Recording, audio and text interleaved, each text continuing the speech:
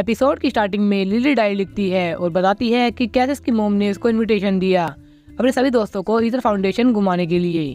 और सबने मिलजुल के डिट्टो को पकड़ लिया, जो कई बार रूप बदल रहा था, जिससे इन सबको काफ़ी ज़्यादा मज़ा आया। लेकिन उसकी मोम थोड़ी ज़्यादा ओवर केयर करती है, जो उसे बिल्कुल पसंद नहीं है। प्रोफेसर कोकोई के घर के पास आज एस अपने सभी पोकेमोन को निला रहा है, जहाँ वो पिकाचू निला रहा होता है। उससे निकले हुए सोप बबल नेबी के रखते हैं। ऐसे से बताता है कि ये काफ़ी मज़ेदार होते हैं, जिसकी वजह से खेल लग जाता है। पिकाचू की सफ़ाई के बाद, पिकाचू अपने शरीर का सारा पानी सेक करके झाड़ लेता है और ये चीज़ नेबी सीख लेता है। फिर बारी आती है लिटन की, लेकिन लिटन मना कर देता है। लेकिन लाइगन रॉक को नहाना काफ़ी पसंद होता है, जिससे उसको प्यार करने लग जाता है। और ये बात ऐसा समझ जाता है कि अब उसको नहाने की बारी है। सही में यार लाइगन रॉक बिल्कुल नहीं बदला, वो बिल्कुल रोगरफ की तरह ही है। अब मास्क वार्निंग यहाँ लाइकन रोग पानी से एकदम जेंटली नहा रहा होता है। जो रोटोम भी कहता है कि रोग टाइप होने के बाद भी पानी से पसंद है। इसमें काफ़ी कमाल की बात है, इसे मैं अपडेट कर लेता हूँ। जिसके बाद वो भी काफ़ी इंजॉय कर रहा होता है नहाने को। फिर है साबुन के झाग से पिकाचू बनाता है। जो रोटोम कहता है ये तो बिल्कुल पिकाचू नहीं लग रहा है। फिर वो लिटन बनाता है। लेकिन रोटोम कहता है कि इन दोनों में कोई भी डिफरेंस नहीं है। जिसके बाद वो झाग से लिटन को डराता है। लिटन डर के उस टब पे पैर रख देता है। जिसके बाद टाइगर रॉक पूरा भीग जाता है और काफ़ी गंदा भी हो जाता है। एस कहता है घबरा मत लाइगन रॉक मैं तुम्हें अभी ठीक कर देता हूँ. लेकिन तभी लाइगन रोग को काफ़ी गुस्सा आ जाता है।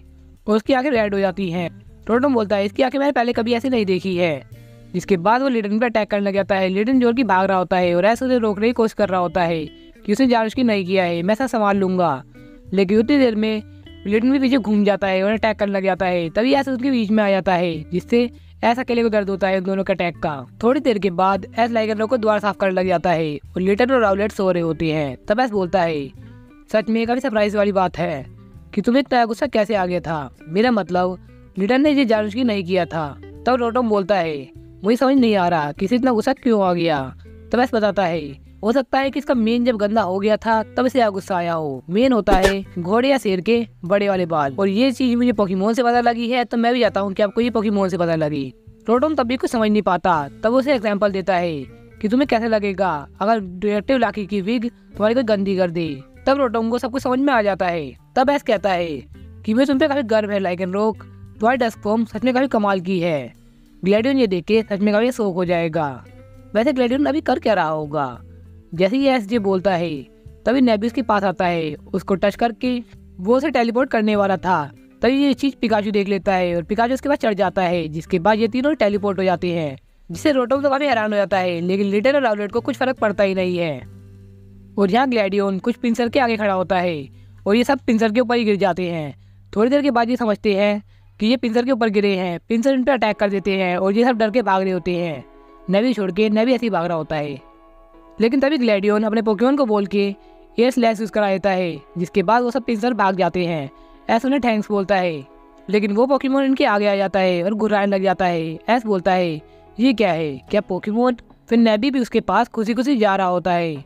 लेकिन तभी वो उसको घुराने लग जाता है, जिसको देख के नेबी रोने लग जाता है। और ग्लैडियन काफ़ी शौक हो जाता है। एस और पिकाचू से चुप कर आते हैं। लेकिन वो चुप हो ही नहीं रहा होता और वो पोकेन घुराए जा रहा होता है। फिर एस बोलता है, हे ग्लेडियन, क्या तुम अपने पोकेन को थोड़ा पीछे करोगे? इसके बाद ग्लेडियो से थोड़ा पीछे कर लेता है और एस पिकाचू की हेल्प के साथ वो उसे चुप करा देता है। इसके बाद पिकाचू को थैंक्स बोलता है। फिर ग्लेडियन बोलता है, हे एस, कहीं ये अल्ट्रा बीस्ट पोकेमोन तो नहीं? तो वो कहता है वाह क्या तुम्हारे को भी अल्ट्रा बीस्ट के बारे में पता है?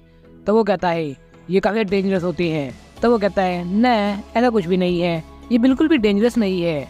तो वो कहता है कि तुम्हें बिल्कुल भी अंदाज़ा नहीं है कि ये कितने खतरनाक होते हैं। तो वो कहता है ग्लेडियन मैं समझ सकता हूँ, लेकिन मैंने प्रॉमिस किया है, सोलगलियो और लोनाला से। जिसके बाद वो कहता है, क्या, सोलगलियो, लुनाला? तो वो कहता है हाँ मैंने प्रॉमिस किया है कि मैं इसका ख्याल रखूँगा। माना कि वो प्रॉमिस मैंने ड्रीम में किया था। फिर हमें दिखाया जाता है कि नेबी सो चुका है और ऐसा अपनी पूरी एक्सप्लेनेशन दे रहा है कि नेबी ने इसे कह टेलीपोर्ट करके यहाँ पहुँचा दिया। तब वो बोलता है क्या अल्ट्रा बीस ने ये किया? तब वो कहता है, वो छोड़ो, ये देखो, ये है लाइकन रोग। तब वो कहता है कि यह मिड डे फॉर्म है और ना मिड नाइट फॉर्म ये क्या है? तब ऐसा बताता है कि हम इसे डस्ट फॉर्म बोलते हैं। ये कमाल का है ना? जिसके बाद उसका खेल लग जाता है। थोड़ी देर के बाद हमें दिखाया जाता है कि हिल पे बैठे हुए हैं। तब ऐसा पूछता है तुम कहाँ पर है? तब ग्लैडियन बताता है कि टेन कैरेट हील है। ये इंसानों से दूर की जगह है। जिसके बाद वो बोलता है कि तुम्हें कभी कभी तो उससे मिलना चाहिए। लिली काफ़ी ज़्यादा अच्छा कर रही है। खासकर अब उसे पिकाचू को टच करना शुरू कर दिया है। जिसके बाद हमें दिखाया जाता है उसका पास्ट जब लिली पहली बार ग्लेडियो से मिली थी और एस को ये पता लगा था कि ये दोनों भाई बहन हैं। तब ग्लेडियो पूछता है, और कुछ भी बताओ उसके बारे में? तब वो बताता है कि, तुम ये पोकेमोन देख रहे हो? इसका नाम नेवी है, जो लिली ने रखा है। तब वो कहता है, क्या एक अल्ट्रा बीस का नाम लिली ने रखा है? वो भी नेवी तब ऐसा बोलता है, इसका क्या मतलब है? तुम्हारे कहने का मतलब क्या है?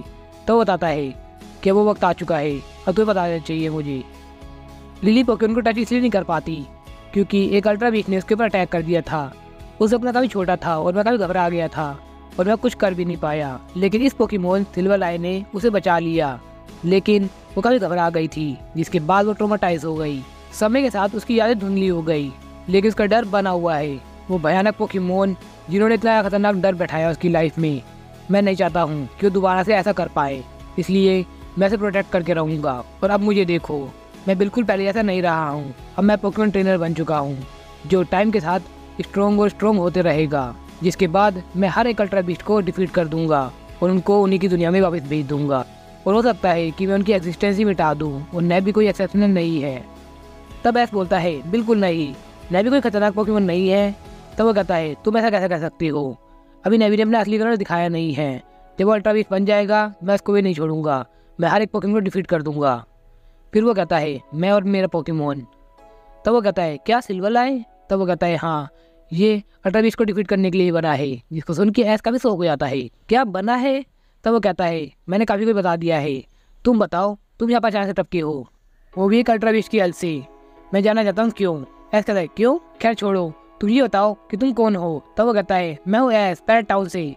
मेरा मतलब ये नहीं था। मेरा मतलब है कि तुम कौन हो? जिसके पीछे अल्ट्रा बीस पोकेन पड़े हैं? वो तुम्हें इतना इंटरेस्ट क्यों ले रहे हैं? और मोम का क्या कहना है? मोम ने इस बात पे कैसे एग्री कर लिया? आखिर इस दुनिया में चल क्या रहा है? और तुम्हारा लाइकन रोक ये अलग क्यों लग रहा है? तुम कौन सी पावर को प्रोसेस करते हो? तब ऐसा कहता है, तुम रुक जाओ, मुझे कुछ नहीं पता, मुझे इन सब के आंसर नहीं पता है। लेकिन, क्यों ना हम बैटल करते हैं? तब वो कहता है, क्या बैटल तब वो कहता है, तुम्हें मेरे बारे में जानना है ना? तो तुम बैटल करो मेरे से और तुम खुद पता लगा लो कि तुम्हें मेरे बारे में क्या जानना है। तब वो बोलता है, इसमें कोई सेंस नहीं लग रहा है। लेकिन ऐसा बोलता है, इस सिल्वर लाइट के लिए एक अच्छी ट्रेनिंग होगी। और यही मत भूलो कि टीम रॉकेट ने हमारी पिछली बैटल को रोक दिया था। तब वो एग्री करता है और एस लाइकन रोक को चुनता है। तो ये कौन सा पोकीमोन है? और ये है पिछले क्विज के विनर तो यार, एक वीक का ही टाइम आपको मिलता है इसका आंसर देने के लिए। तो बाद में आंसर देने का कोई फ़ायदा नहीं होता है। तो अभी इस चैनल को सब्सक्राइब कर लो। और अब याद आई गया है तो इस वीडियो को लाइक कर दो। और यहाँ रोटो में इंतज़ार कर रहा होता है कि ऐसा उसके सभी पोकीमोन वापस नहीं आए हैं। तो उसी कुछ करना होगा। फाइनली वो इन्वेस्टिगेशन के लिए निकल जाता है डिटेक्टिव लाकी की ड्रेस पहन के। और वो इस बार लिटन को अपना असिस्टेंट बनाना चाहता है, लेकिन लिटन मना कर देती है। तब इसका अलार्म बचता है, और उसे याद आता है कि या तो डिटेक्टिव लाकी का एक स्पेशल एपिसोड आएगा, जिसे वो मिस नहीं करना चाहेगा, जिसके बाद वो टीवी देखने चला जाता है। और यहाँ बैटल स्टार्ट होने वाली होती है। एस लाइकन रोक को चुनता है, और ग्लेडियन बोलता है लाइकन रोक तुम्हें क्या लगता है, किसे जाना चाहिए? जिसके बाद वो देखता है कि वो पहले से आग ग्रो कर चुका है। जिसके बाद वो कहता है, आज वो पोकेमोन आएगा जिसने मास्क पहन रखा है। सिर लाए मैं तुम्हें चुनता हूँ। वैसे ग्लेडियन के तीनों पोकेमोन काफ़ी हाइप अप थे इस बैटल के लिए। बैटल स्टार्ट होने से पहले ऐसे से रोक देता है और पूछता है ग्लेडियन से, हे ग्लेडियन क्या सिल्वर लाए की पहली बैटल है? एक पोकेमोन से जिसका ट्रेनर भी है? जिसके हाँ बोलने पे ये काफ़ी एक्साइटमेंट दिखा रहा होता है कि मैं पहला पोकेमोन ट्रेनर बन चुका हूँ, जो सिल्वर लाइन से लड़ने वाला है। ग्लैडियन बोलता है, इसमें कोई मज़ेदार बात थी? तो वो कहता है, ऐसा कुछ नहीं है, बस पहले करने में कुछ अलग मज़ा आता है। तो वो कहता है, ये काफ़ी अजीब है। Like and rock rock throw use करता है, जिसे काउंटर में वो डबल हिट यूज़ करता है, जिसे पूरी तरह से काउंटर कर लेता है और उसका एक मूव उसके बाद वापस भेज देता है, लेकिन लाइकन रॉक भी उससे बच जाता है।